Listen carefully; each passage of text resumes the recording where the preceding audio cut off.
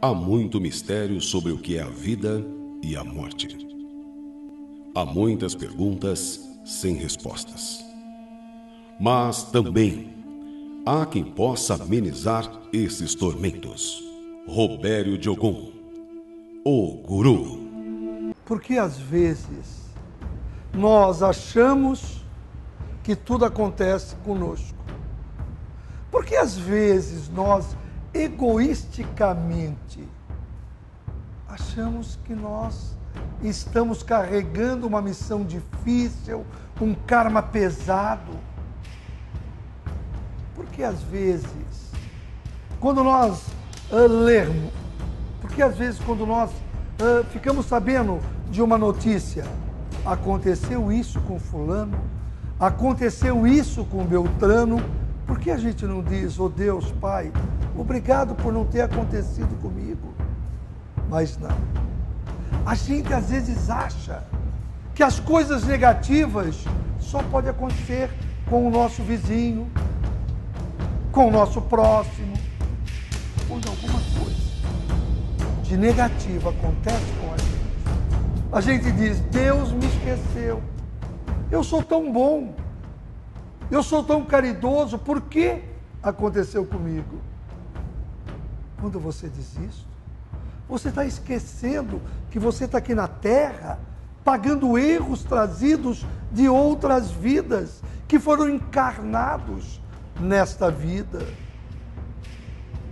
Nós estamos aqui para aprendermos a superarmos nossas dificuldades. Nós estamos aqui por um pequeno tempo. E esse tempo, ele vai nos ensinar a entendermos um pouquinho quem somos na verdade. Esse tempo vai nos ensinar para onde vamos. Então, para que ficar se lamentando?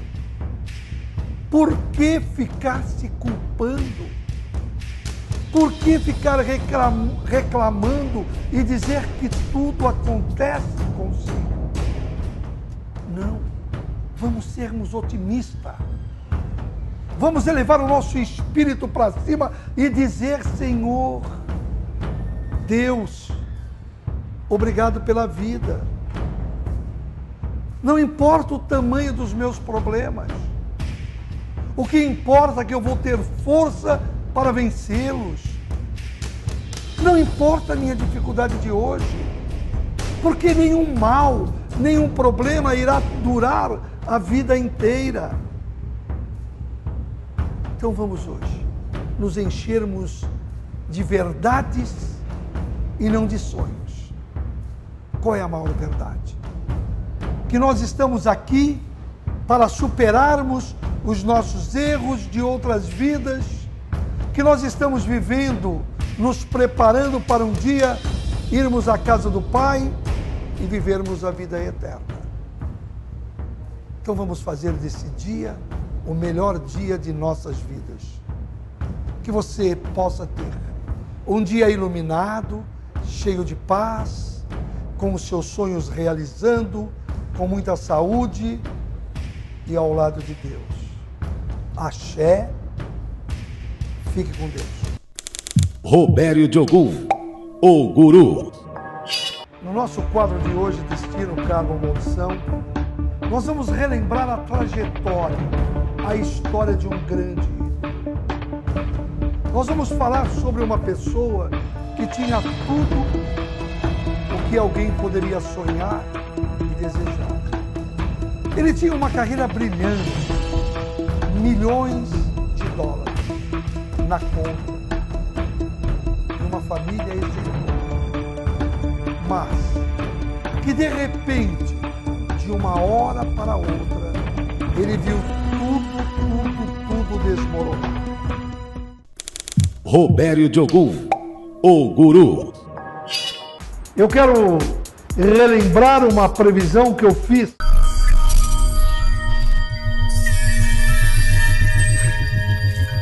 Túnel do Tempo. Dezembro, o Robério falava que a saúde do Papa estaria muito abalada, 2013 muito difícil e não acreditava na vinda dele ao Brasil. E ele realmente não vem ao Brasil. Né? Robério, boa tarde. Boa tarde. Parabéns aí já pelo trabalho, pelo acerto de várias das previsões. Né? Eu sei, ele disse isso na revista Isto É, nessa entrevista da primeira semana de janeiro desse ano, que ele gostaria de errar as previsões dele, inclusive a do Papa, acredito Sim, eu, né? Muitas. E a primeira a se confirmar, inclusive. Muitas. Hum. Porque quando você faz a previsão, você vive um momento muito rápido que é você entra em sintonia com o plano espiritual, eles te dizem aquilo que vai acontecer. Para o médium, esse é um momento que você não acredita naquilo que estão te falando. Você precisa de um tempo para você pra poder assimilar, né? assimilar. E você torce para que erra. Eu torço uhum. para errar hoje. Bento XVI surpreendeu o mundo ao anunciar que deixará a liderança da Igreja Católica no fim do mês, renunciando ao papado.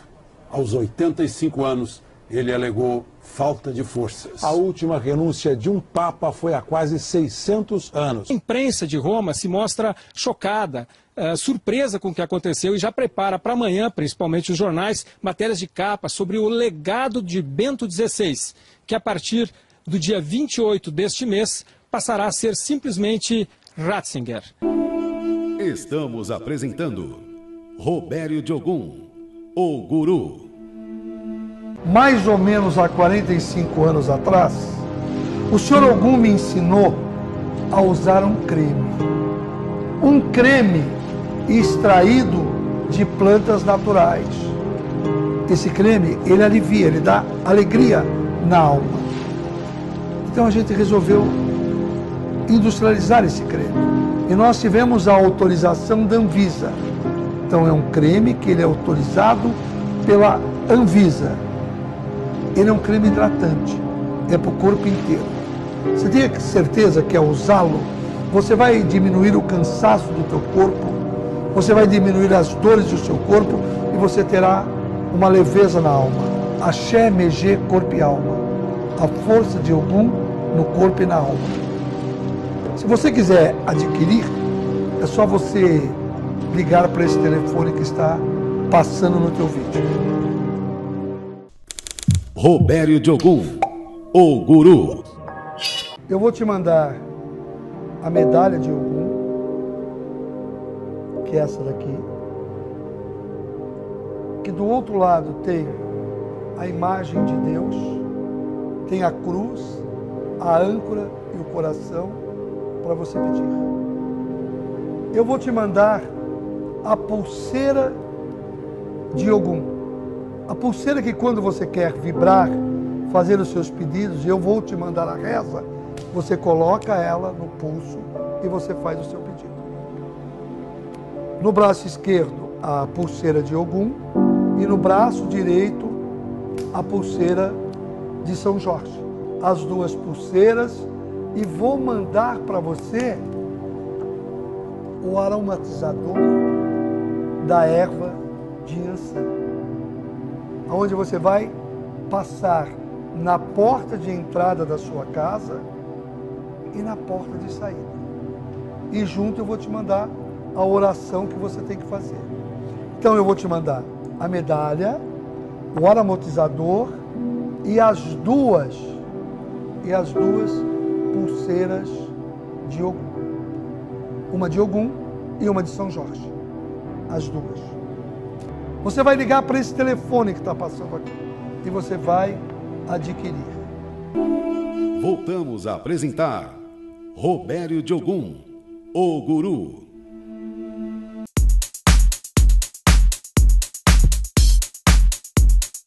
Ana Maria Braga, filha de Oxum, devota de Nossa Senhora, é um ano positivo, porque ela não vai viver as mesmas dificuldades de saúde que ela viveu em 2016 e 2017. É um ano de reflexão, onde ela vai se cuidar muito espiritualmente e será positivo para o amor. Ela pode encontrar aquilo que ela procura há muito tempo, que é um grande amor para a sua vida. Vai trabalhar menos, vai descansar mais e 2018 vai ser um ano marcante na vida afetiva, desta grande guerreira que é Ana Maria Braga. Robério Diogum, o guru. O ano de 2018 não é bom para o presidente americano. Em 2019, ele pode perder ou deixar o mandato de presidente dos Estados Unidos, ou por motivo de saúde, ou por algum problema muito sério que ele possa passar. E toda essa negatividade para ele começa no ano de 2018. Quer dizer, é um ano que vai marcar muito para o presidente americano. Robério Diogum, o guru. Robério Diogum responde o seu e-mail. Recebemos o e-mail de Cecília Noronha, de Praia Grande, São Paulo. Cecília conta que há mais de 15 anos ela não sai de casa e não tem vontade de se arrumar. No ano de 2000, eu estava chegando em casa e, ao abrir o portão, me deparei com um senhor de 70 anos, com cabelos e barba branca, sentado na minha calçada. Ele sorriu e se levantou em minha direção. Depois disso, eu nada mais vi. Acredito ter desmaiado. Quando retornei o sentido, não vi mais ele. O medo foi muito grande e fui para o Hospital Ana Costa. Minha pressão estava alta e os meus lábios não paravam de tremer. Por volta das 20 horas, quando retornei para casa e durante a noite sonhei com essa pessoa, ele me disse em sonho que era meu protetor.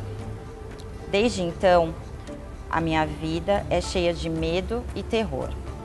Isso aconteceu com os meus 40 anos de idade. Hoje tenho 55. Eu não vivi esses 15 anos. O que aconteceu comigo? O que devo fazer? Me ajude, Robério. Que e-mail assustador este. E-mail que veio da dona Cecília. Dona Cecília, o que aconteceu com a senhora? Foi que a, a senhora, ao entrar na sua casa, um espírito te esperava. E esse espírito estava materializado. Esse espírito se possuiu de um corpo humano e a senhora se apresentou. Eu imagino o choque que a senhora levou. Eu imagino o susto que a senhora levou. Lógico que a senhora perdeu os seus sentidos e veio a desmaiar. Porque essa força espiritual, quando nos atinge, e não sendo um espírito evoluído, e no caso, esse espírito que apareceu para a senhora não é um espírito evoluído, é um espírito obsessor. Ele veio para lhe assustar. Ele com certeza foi seu inimigo em vidas passadas. Aí a senhora vai para o hospital. Quando volta do hospital para casa, o cansaço, o sono, faz com que a senhora durma. Porque a senhora acabara de levar uma surra espiritual. E o que, que esse espírito obsessor faz? Ele volta a lhe perturbar. Ele volta a lhe trazer medo. E esse medo tomou conta da senhora. Não é um medo que está na sua racionalidade é um medo que está no seu espírito. O teu espírito, que é a emoção, que é os sentidos, o que ele, como ele age? Com o medo. Desse espírito obsessor aparecer de novo. Desse espírito obsessor não perturbar a senhora fisicamente, mas perturbar o teu próprio espírito, que tem uma missão terrena com a senhora aqui na terra. Então, dona Cecília, a senhora precisa se cuidar. A senhora precisa buscar ajuda espiritual. A senhora não pode mais ficar, dona Cecília, 15 anos trancada dentro de casa, sendo prisioneira desse espírito obsessor. Tem que tirá-lo da sua vida. Precisa. A senhora precisa viver e é preciso que esse espírito ele vá embora. Se a senhora quiser, dona Cecília, eu vou até a sua casa e a gente vai tirar esse espírito obsessor da sua vida. Nós vamos tirar esse espírito obsessor, dona Cecília, da sua casa. Não tenha medo. Deus é amor e é paz.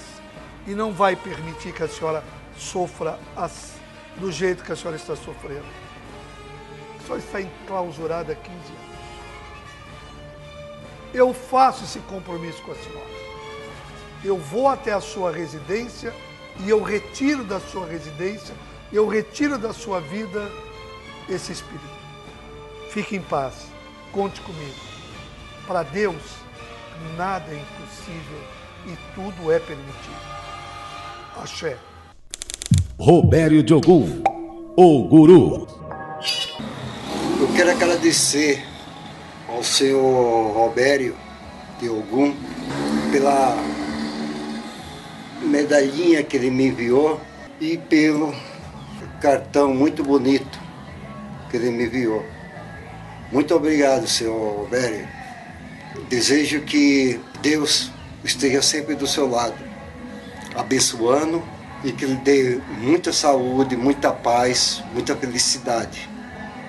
Muito obrigado. Robério de Ogum, o guru. Estamos apresentando Robério de Ogum, o guru. Mais ou menos há 45 anos atrás, o senhor Ogum me ensinou a usar um creme. Um creme extraído de plantas naturais. Esse creme, ele alivia, ele dá alegria na alma. Então a gente resolveu industrializar esse creme. E nós tivemos a autorização da Anvisa. Então é um creme que ele é autorizado pela Anvisa. Ele é um creme hidratante, é para o corpo inteiro.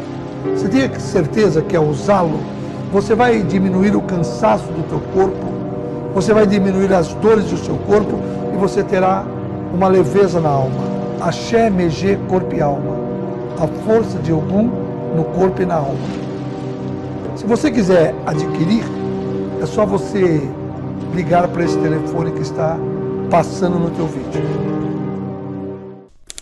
Robério de Ogum, o guru. Eu vou te mandar a medalha de Ogum, que é essa daqui, que do outro lado tem a imagem de Deus, tem a cruz, a âncora e o coração para você pedir. Eu vou te mandar a pulseira de Ogum. A pulseira que quando você quer vibrar, fazer os seus pedidos, eu vou te mandar a reza, você coloca ela no pulso e você faz o seu pedido. No braço esquerdo, a pulseira de Ogum e no braço direito, a pulseira de São Jorge. As duas pulseiras e vou mandar para você o aromatizador da erva de Ansan, onde você vai passar na porta de entrada da sua casa e na porta de saída. E junto eu vou te mandar a oração que você tem que fazer. Então eu vou te mandar a medalha, o aromatizador e as duas e as duas pulseiras de Ogum. Uma de Ogum e uma de São Jorge. As duas. Você vai ligar para esse telefone que está passando aqui e você vai adquirir. Voltamos a apresentar Robério de Ogum, o guru. Karma, destino ou maldição. No nosso quadro de hoje, Destino, Karma ou Maldição, nós vamos relembrar a trajetória, a história de um grande ídolo. Nós vamos falar sobre uma pessoa que tinha tudo o que alguém poderia sonhar e desejar. Ele tinha uma carreira brilhante, milhões de dólares na conta e uma família exemplar mas que de repente, de uma hora para outra, ele viu tudo, tudo, tudo desmoronar. Descubra. Agora de quem eu estou falando? Comece a imaginar quem é essa pessoa. E saiba, como exemplo, de como a vida segue caminhos inesperados Olha essas imagens. Welt verneigt sich vor dem Champion Michael Schumacher. Michael Schumacher começou sua carreira muito jovem. Aos 22 anos estreou na Fórmula 1, categoria mais desejada pela maioria dos pilotos. Em pouco tempo ganhou destaque e ao longo dos anos se tornou um dos maiores nomes do automobilismo mundial, sendo campeão sete vezes. Como é?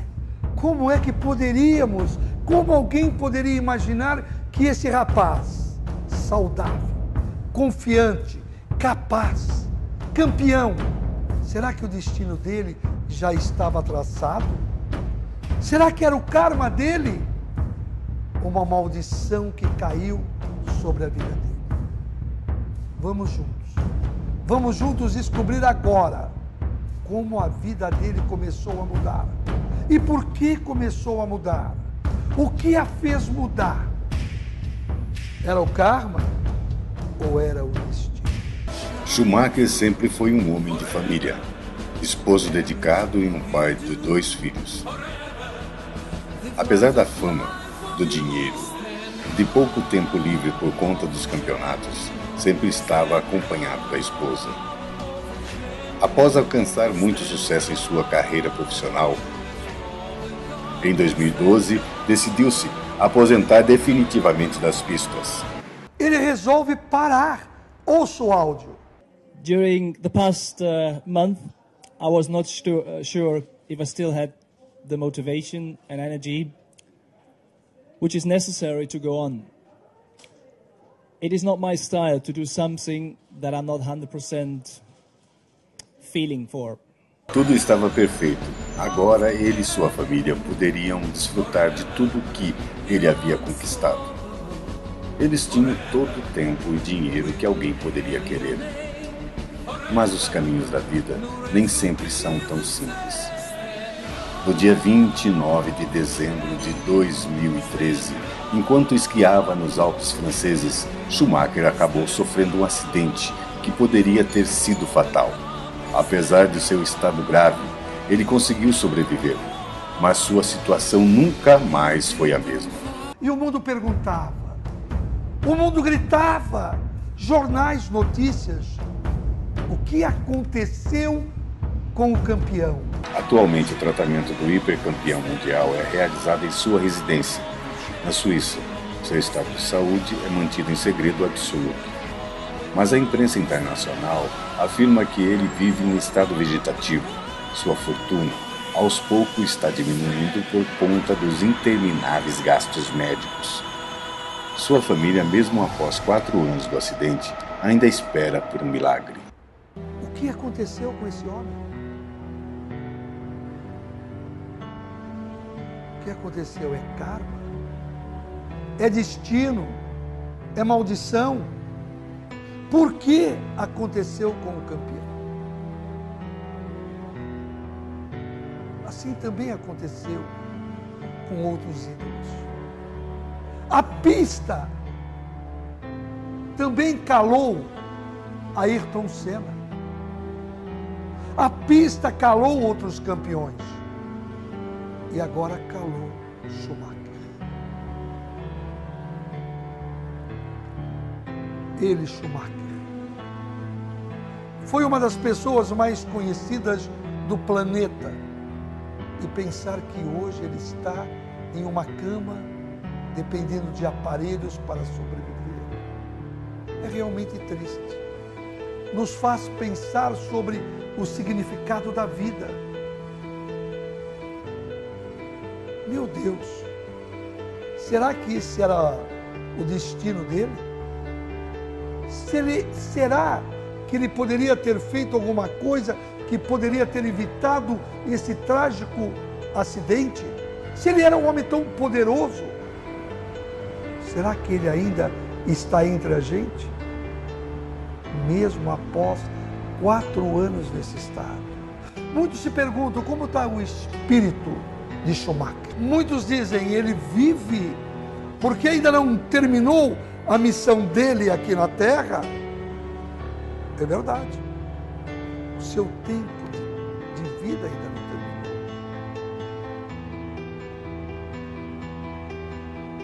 Ele ainda vive porque o seu espírito espera o fim do seu tempo kármico na Terra. Será que está certo a família? Mantendo-o vivo através de aparelhos? Lógico que sim. Lógico. Porque quem pode tirar a vida é Deus. Onde será que seu espírito está? O espírito de Schumacher está ao lado do corpo dele. O espírito de Schumacher espera o tempo final da vida. Muitos se perguntam: será que ele está em paz? Sim, sim, está em paz. Acredite, este corpo, esse corpo que para muitos está morto, falecido, não mais comunica, é engano. Esse corpo tem os reflexos, ele ouve, ele sente, porque o espírito ainda não morreu e ele se veste da roupa humana que é o corpo de Schumacher. Ele está em paz. E muitos perguntam: será que Schumacher, o campeão, vai acordar? Só Deus. Só o Criador da matéria e do Espírito, o Criador da vida, poderá nos responder.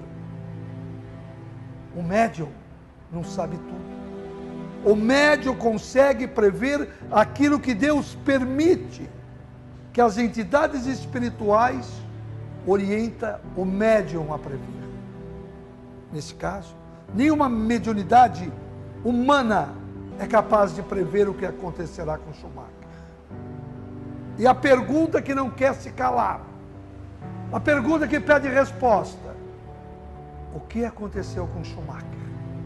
É destino? É karma? Ou é uma maldição? Para os humanos, é um acidente. Fora das pistas. E não nas pistas. Para nós, médium, foi o destino. Não foi uma maldição. Ele era um homem extremamente iluminado. Extremamente rico de espírito bom pai e bom esposo. Robério Diogum, o guru. Quando o homem não mais acreditar só na política, na ciência e na economia, quem sabe ele acreditará mais em Deus. Robério Diogum. Chegamos ao final de mais um programa eu espero que você tenha gostado.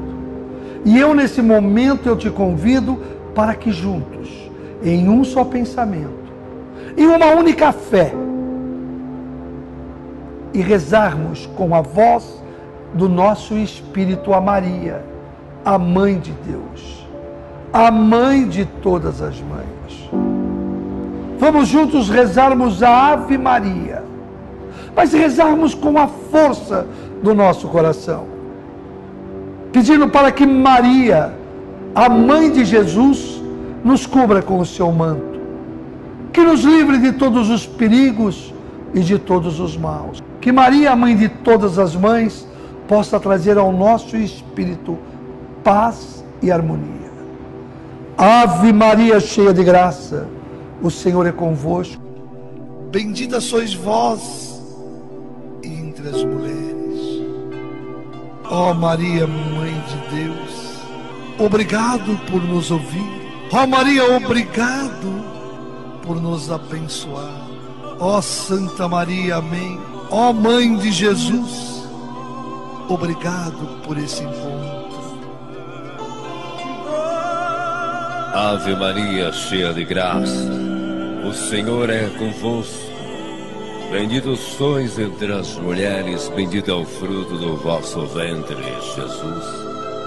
Santa Maria, Mãe de Deus, rogai por nós, pecadores, agora e na hora de nossa morte. Amém.